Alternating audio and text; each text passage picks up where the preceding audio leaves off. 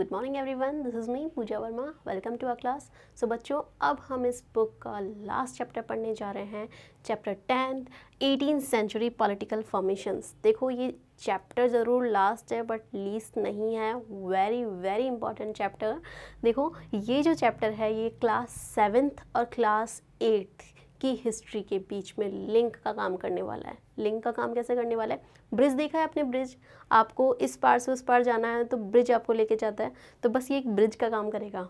Bridge का काम कैसे करेगा? सिक्स क्लास में आप पढ़ के आए हैं एंशियंट हिस्ट्री सेवेंथ में आपने पढ़ी मिडिवल हिस्ट्री अब हम जा रहे हैं आपकी मॉडर्न हिस्ट्री की तरफ़. तो मॉडर्न हिस्ट्री की तरफ़ जाने के लिए ये चैप्टर हमें पार करना पड़ेगा. पार करने का पड़ेगा इन द सेंस पढ़ना पड़ेगा भाई. ठीक है? तो ये चैप्टर जो है वो आपको बताएगा कि कैसे जो है जो मुग़ल्स आपके हुए. लेटर मुग़ल्स जो आए, फिर आपके ब्रिटिश कंपनी आ रही है तो कैसे मॉडर्निटी की तरफ़ वो जाएँगे, ठीक है?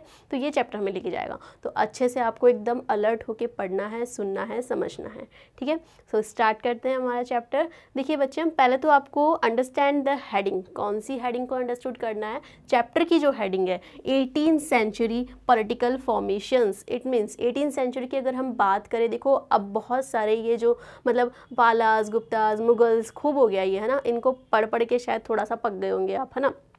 अब हम मॉडर्न हिस्ट्री की तरफ़ चल रहे हैं तो एटीन सेंचुरी के टाइम पे आपको पता है कौन रूल कर रहा था भाई? लेटर मुगल्स चल रहे थे। देखो, अब लेटर मुगल्स के नाम से मैं किसे कंसिडर करूँगी? आपके जो पावरफुल मुगल रूलर्स हुए, मैंने आपको बताया था, औरंगज़ेब तक पावरफुल थे, उसके बाद के इतने ज़्यादा पावरफुली रूल नहीं कर पाए। तो उनको बोला गया है लेटर मुगल्स ठीक है? तो लेटर मुगल्स उस वक्त थे तो उस टाइम पे ब्रिटिश कंपनी जो है यहाँ पर रूल कर रही थी, ठीक है? तो उस टाइम पे किस तरीके से पॉलिटिकल फॉर्मेशंस हुए? कैसे पॉलिटिकल चेंजेस हुए, कैसे जो है रूलिंग पावर रूल पावर जो थी वो मुगल्स के हाथ से, ब्रिटिश के हाथ में चली गई, ठीक है? और कैसे हम जो है स्लेव बन गए, है ना? तो वो पॉलिटिकल फॉर्मेशंस वो इस चैप्टर में हम देखने वाले हैं, ठीक है बच्चों? तो इस हेडिंग को अंडरस्टूड करना है आपको। अब देखिए, उस टाइम पे हम बात करें, state formations in the eighteen century कौन कौन से स्टेट थे जो पावरफुली सामने थे? कब की बात हो रही है? एटीन सेंचुरी की। तो देखोगे, आप जो पावरफुली जो ग्रुप जो सामने थे दैट वॉज़ सिख है ना?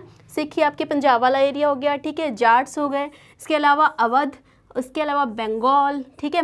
ये जो आपको दिख रहा है ना इस तरीके से आ, ये जो एरिया हो गया इसके अलावा हैदराबाद वाला एरिया हो गया यहाँ पे मराठास थे तो ये जो ग्रुप थे ये काफ़ी स्ट्रांगली पावरफुली जो है सामने आए। एटीन सेंचुरी की हम बात कर रहे हैं। लेकिन एंट्री हो चुकी है अब किसकी? ब्रिटिश की। तो उस टाइम पे थोड़ा सा चेंज हुआ ना ब्रिटिश के आने के बाद में अब बात करते हैं हम। British territories in the mid eighteen century अब मिड एटीन सेंचुरी की अगर हम बात करें तो ब्रिटिश ने जहाँ पर अपना जो है टाइप या फिर अपना जो सेटअप उन्होंने लगाया, है ना? जो भी वो ट्रेडिंग कर रहे थे, जो भी वहाँ पर फैक्ट्रीज उन्होंने डाली तो वो जो थे, वो ग्रुप सामने आए पावरफुली दैट वॉज़ बंगाल ठीक है? बंगाल वाला एरिया होगा और ये नदन सरकार, ठीक है? ये जो एरिया थे, यहाँ पर ब्रिटिश टेरिटरी जो है वो एस्टेब्लिश हो चुकी थी, है ना? तो ये एरिया सामने आया। अब देखिए आप political conditions in eighteen century India change quite dramatically and within a relatively short span of time बहुत ही शॉर्ट टाइम में जो है पॉलिटिकल फॉर्मेशन चेंज हुई किसके आने के बाद में? ब्रिटिश के आने के बाद में। जो पावरफुली ग्रुप मैंने आपको बताया, सिख, जाट, ये सब थे, जो थे वो धीरे धीरे जो गायब से हो गए, है ना? Then emergence of a new political group नए पॉलिटिकल ग्रुप बन गए, ठीक है? आगे देखिए the crisis of the empire and the later Mughals अब जो मुगल्स थे भाई, उनका खात्मा धीरे धीरे धीरे धीरे होने लगा। ऐसा नहीं था, एकदम से मुगल्स को एकदम साइड ही कर दिया और ब्रिटिश ने ताज पहन लिया, आकर यहाँ पर रूल करने लगे।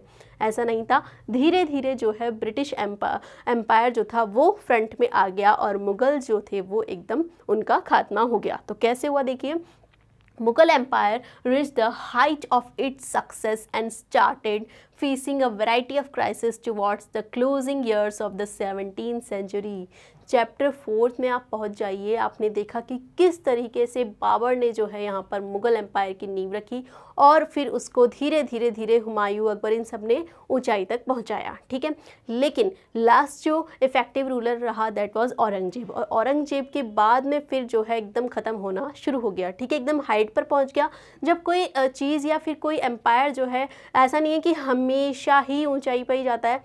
उसमें फॉल डाउन भी होता है, ठीक है? तो धीरे धीरे जो है वो एक क्राइसिस का सामना करने लगा। देन सेवनटीन सेंचुरी के आते आते तक then emperor Aurangzeb had depleted the military and financial resources of his empire by fighting a long war in the Deccan अब ये जो औरंगज़ेब था चैप्टर फोर में हम देख चुके हैं कि बार बार बार बार इसने दक्कन पर कितने ज़्यादा जो है यहाँ पर वॉर किए, है ना? कितनी बार अटैक किया इसने। तो उस अटैक के अंदर ऐसा तो नहीं था ना कि भाई सामने वाली पार्टी का ही नुकसान हो रहा है। खुद का भी तो हो रहा था, कितने सारे रिसोर्सेज आर्मी वेपन्स ये सब वहाँ पर इन्वेस्ट हो रहे थे। तो इस इन्वेस्ट के चक्कर में जो है धीरे धीरे फाइनेंशियली जो रिसोर्सेज थे, वो उसके ख़त्म होने लगे, ठीक है? कहाँ पर बार बार किया था इसने? दक्कन पर। हालाँकि उस पर उसने कैप्चर भी कर लिया था, लेकिन काफ़ी रिसोर्सेज उसके खर्च हो गए थे। Then the efficiency of the imperial administration broke down became increasingly difficult for the later Mughals emperor to keep a check on the powerful mansabdars. Yes, अब धीरे धीरे उनका जो एडमिनिस्ट्रेशन था वो टूटने लगा और साथ ही जो पावरफुल मनसबदार्स थे ठीक है ज़मींदार्स थे उनके ऊपर ये जो मुगल्स थे लेटर मुगल्स थे वो पूरा कंट्रोल जो है वो नहीं रख पाए क्योंकि उन्होंने अपनी इंडिपेंडेंस असर्ट करके अपना एक अलग ही किंगडम स्टार्ट कर दिया था ना जो भी मनसबदार्स थे उन पर ठीक है अब क्या हो रहा था? ये जो गवर्नर सूबादार्स थे, इनका क्या रूल था? देखिए hold extraordinary political economic and military power over vast region of the Mughal empire देखो बच्चों, अब जब सूबादार, मनसबदार, ये जो है स्ट्रॉन्ग हो गए हैं राजा से ज़्यादा स्ट्रांग हो गई क्योंकि डायरेक्ट जनता के कांटेक्ट में यही थे। ठीक है, अब डायरेक्ट कनेक्शन में जनता के साथ ये है तो जनता किसकी बात सुनेगी? इन्हीं की सुनेगी। ठीक है तो उन्होंने जो है, जो मुगल्स थे, उनसे एक अलग ही अपना किंगडम स्टार्ट कर दिया ना? तो एक तरीके से एक्स्ट्रा ऑर्डनरी पोलिटिकल इकोनॉमिकली और मिलिट्री पावर इनके पास में आ गई है। ठीक है सो देन इम्पैक्ट क्या हुए इसके? क्या इफ़ेक्ट हुए इसके? देखिए governors consolidated their control over the provinces the period periodic remission of revenue to the capital declined yes governors जो थे, उन्होंने जो अपनी कंट्रोल पावर थी प्रोविंसेस पर, जो भी रियासतें थी, उन पर अपनी पावर जो है एक तरीके से छाप दी थी। Then the periodic remission of revenue to the capital declined और इसी के साथ में कैपिटल जो थी, वो डिक्लाइन हो गई। किसकी? मुगल्स की मतलब कहने का मतलब है ऑल ओवर मैं आपको क्या समराइज़ करना चाह रही हूँ यहाँ पर कि जो लेटर मुगल्स थे, उनका एक तरीके से राजपाट जो था वो ख़त्म होने लगा था और उनकी जगह कौन? उनके ऊपर हावी हो रहे थे, उनके जो मनसबदार सूबादार्स गवर्नर्स ये सब, ठीक है? आगे देखिए peasant and zamindari rebellion in many parts yes किस तरीके से जो पीजेंट्स और ज़मींदार थे, उन्होंने रिबेल कर दिया, काफ़ी जगह, क्या उसकी रीजंस रहे? Let's see pressure of mounting taxes yes जो अलग अलग तरीके के अलग अलग बहुत सारे जो है टैक्सेस एम्पर लगा रहा था। एक तो वो रीज़न रहा then attempt by powerful chieftain to consolidate their own position yes और जो पावरफुल चिप्टन्स थे, ठीक है, वो अपनी खुद की पोजिशन जो है कंसोलिडेट करने लगे, है ना? मतलब पावरफुल ज़्यादा हो गए, जो एक्चुअल में जो एम्पर था, उससे भी ज़्यादा वो पावरफुल हो गए। Rebellion not a new phenomenon और ये कोई नई तथ्य या नई बात नहीं थी कि पहली बार कोई रिबेल नहीं कर रहा था ना? जो औरंगज़ेब के बाद के जो रूलर्स रहे, ठीक है? तो वो इतने ज़्यादा इफेक्टिवली रूल नहीं कर पाए तो ये कोई नई बात नहीं थी। But this time rebellious groups has economic resources yes लेकिन इस बार क्या स्पेशल था कि जो भाई जो रिबेल कर रहे थे ना, जो इनका विरोध कर रहे थे, जो चिफ्टन्स थे, जो लोकल चिफ्टन्स थे, या फिर जो और दूसरे ज़मींदार थे पीजर्स थे, वो क्या हो गए थे? उनके पास में भैया इकोनॉमिक रिसोर्सेज आ गए थे। इकोनॉमिकली वो पावरफुल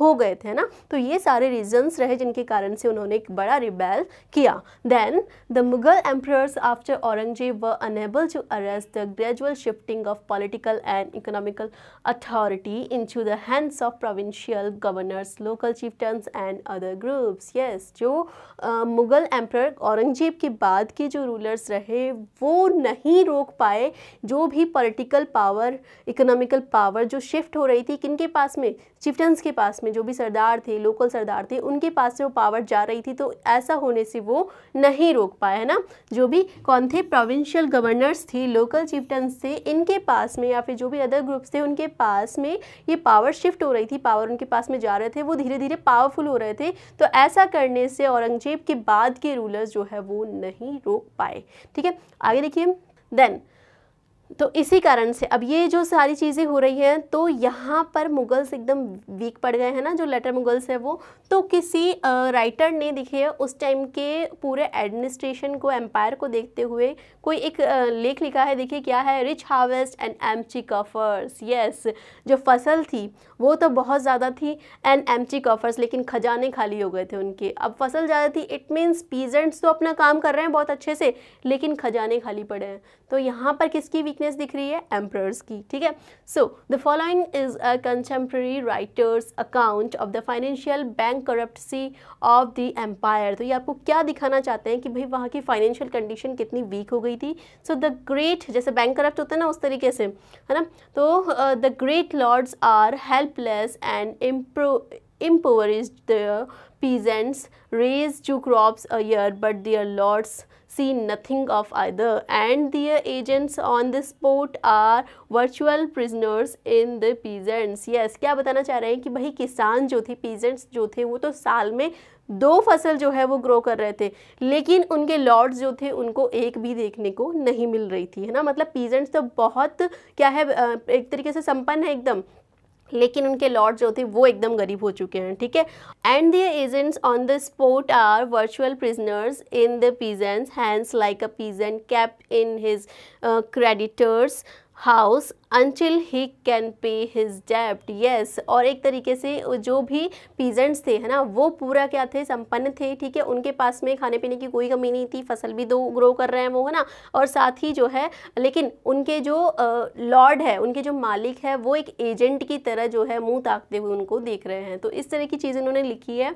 आगे देखिए so complete is the collapse of all order and administration that though the peasant reaps harvest of gold his lord does not see so much as a wisp of straw yes जो peasants है वो तो एक तरीके से उनको तो सोने में खेल रहे हैं वो तो है ना? लेकिन उनके जो लॉर्ड है उनके जो एजेंट है उनके जो हेड है उनको कुछ भी देखने को नहीं मिल रहा है। How then can the lord keep the arm force he should तो कैसे वो अपनी आ, मतलब अपनी आर्म को या फिर अपने बल को जो है आगे रख सकते हैं? किसकी बात हो रही है? एजेंट्स की। How can he pay the soldiers who should go before him when he goes out और कैसे वो अपने सोल्जर्स को, अपने सैनिकों को पे कहाँ से करेंगे?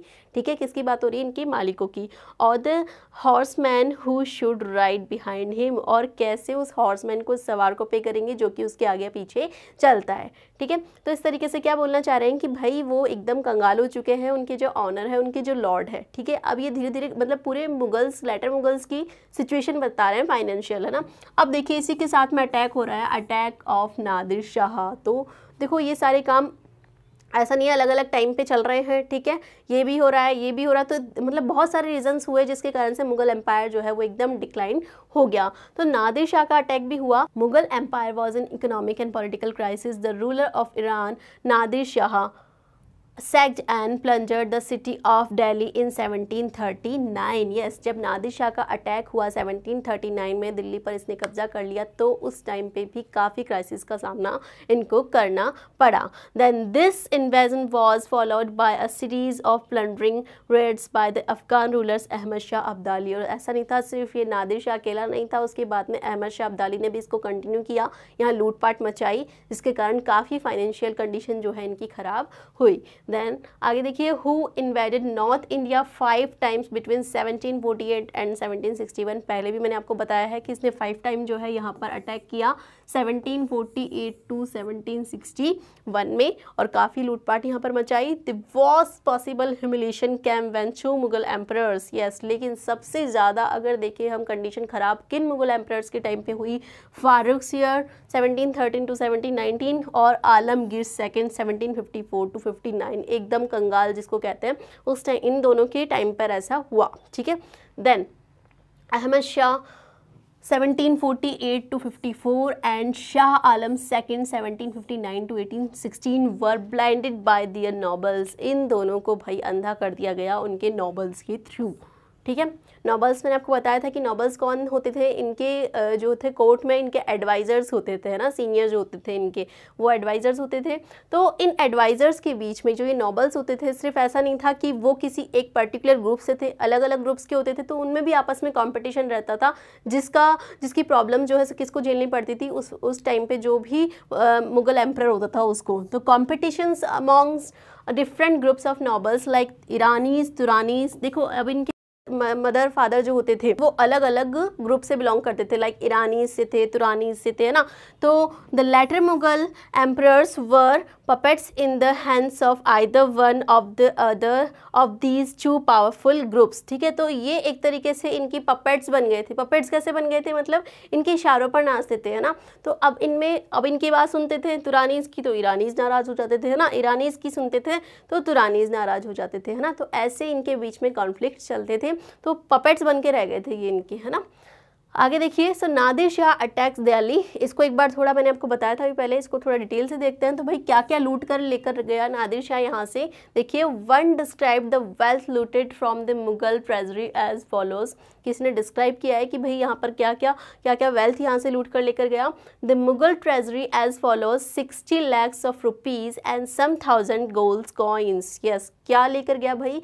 सिक्सटी लैख तो कैश ले गया, उस टाइम की बात ही है ना। And some thousand gold coins वो ले गया। Then nearly one crore wealth of gold ware nearly fifty crores worth of jewels लगभग कितने? वन करोड़ के तो गोल्ड वेयर ले गया, इसी के साथ में फिफ्टी करोड़ के क्या ले गया? वो ज्वेल्स ले गया। Most of them unrivalled in the world under the above included the peacock throne yes और मयूर सिंहासन जिसको कहते हैं, उसको भी यहाँ से ले गया, है ना?